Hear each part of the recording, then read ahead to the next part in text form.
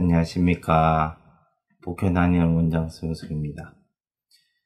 이번 시간에는 엄지발가락 쪽으로 통증이 오는 것에 대해서 말씀을 드리도록 하겠습니다. 또 엄지발가락 쪽에 통증이 오는 것이 한 가지가 요추 4번 디스크가 있으면 엄지발가락 쪽에 통증을 방산하게 됩니다.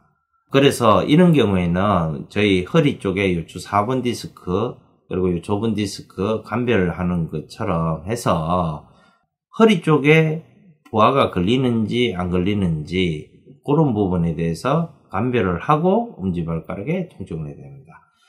이 감별점은 무지외반증과 통풍 같은 경우에는 엄지발가락 그 본절에 관절 변형이 오게 됩니다.